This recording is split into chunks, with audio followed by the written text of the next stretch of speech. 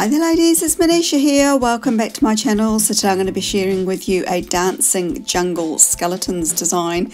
These are all the products I'll be using. I forgot to take a photo of the um, stampers I've used, but I will let you know which ones I've used down below. I've got this beautiful um, polish on by Essence and I'm going to be going over with a couple of coats of this gorgeous chameleon polish by Born Pretty Store. That's the direct code there for it. So I'm just going to do two coats and I'm going to let that fully dry. But I just wanted to show you these um, these beautiful chameleon flakies in the polish. It's just gorgeous. It really is. Um, I've used it over this similar coloured base, but you can use it over black or a light colour, just depending on what mood you're in. But um, yeah, I just really wanted to capture the beauty of it all, and it just looked absolutely gorgeous. Of course, I'm going to hide it with lots and lots of stamping. So um, yeah, just have a good look at it now because it's going to be disappearing very shortly. So I've got a couple of coats of um, seche vite over the top of that. Oh, sorry, not a couple of coats, just one coat of seche vite. I'm going to let that fully dry and then move on to the stamping part. So I'm going to use this gorgeous plate by MoYou London. It's part of the Mexico collection. And I'm going to use two images off that. I'm going to make decals with it.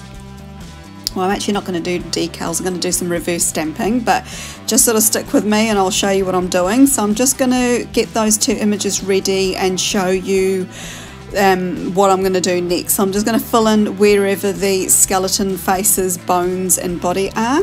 And I'm using that KADS stamping polish just to um, go over it very gently with the brush that's provided in the stamping polish bottle. It's a nice fine one, but if you're using a regular polish, um, just pops them onto a like a you know like a back of a stamper um, plate or something like that and just use a fine detail brush to colour in the parts. So I'm going to do that and then put that aside Great thing about doing it on a stamper is you can always flick it over and see how your progress is going and whether you've got any blank spots. So I do use several other um, stampers, clear stampers. So these two in the video I'm just showing are from MoYou and Born Pretty Store. But I've got a couple from Beauty Big Bang as well and I do use those so I can do all five fingers in one go and then I sort of do all of one hand and then do the five for the other hand too. So you do need a sticky base coat. I'm just using some Orly Bonder, but if you haven't got that, you can just put a clear um, top coat on, not a fast drying one, just a regular clear top coat. Let that get to the tacky stage and then just pop that stamped image onto the nail. So what that does is it gives a bit of grab and it will um, basically take on any parts of the stamping stamped image um, and it will grab onto it. Um, and the best thing is there's minimum cleaning later on. So once I've done all of the nails, I'm just going to go and run a orange wood stick around the edges and that's just going to basically take off any of the dry overhanging bits.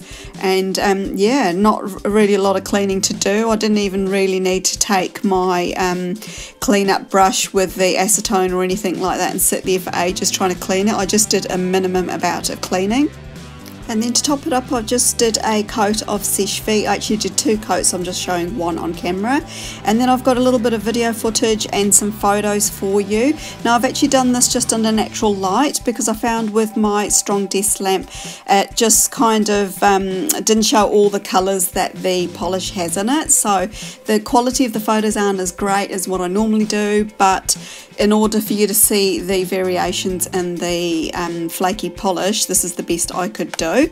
So if you've enjoyed the video ladies, just give me a lovely thumbs up. You can subscribe to my channel, it's free to do so. If you're into Halloween um, and manis, I've done loads more and they're all on my Instagram page. I haven't done tutorials for all them this year, but you can go and check them out there. I've got a direct link for you down below. If you've got any questions, leave them for me too. And apart from that, thanks for stopping by. Hope you all have an absolutely wonderful day wherever you are. Bye for now.